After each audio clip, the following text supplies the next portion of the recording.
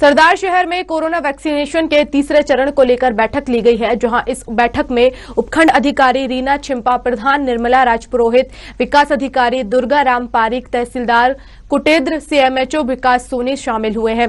बैठक में block CMHO ने बताया है कि 60 साल से ज़्यादा उम्र के और 45 साल से अधिक उम्र के लोगों को वैक्सीन लगाई जाएगी। साथ ही उन्होंने बताया है कि सरदार शहर तहसील क्षेत्र में 24 सामुदायिक केंद्रों में टीकाकरण की सुविधा की गई है। वहीं विकास अधिकारी दुर्गा राम पारिक ने सभी जनप्रतिनिधियों और आमजन से टीका करवाने की अपील की है। सरकार द्वारा कोरोना वैक्सीनेशन का चरण शुरू हो चुका है, जिसमें जो 60 प्लस एज के लोग हैं, उनका टीकाकरण किया जाना है। तो उन लोगों को मोबिलाइज करने के लिए आज हमने पंचायत समिति के सभी सदस्यों, प्रधान जी और सभी ग्राम पंचायतों के सरपंचों की एक मीटिंग रखी थी। उनको हमने सूची दी है ताकि वो पब्लिक को मोबिलाइज कर सके। जब भी सेशन हो तो हमारा टारगेट ये रहेगा कि साठ प्लस का कोई भी व्यक्ति जो है, वो टीकाकरण से ना छूटे।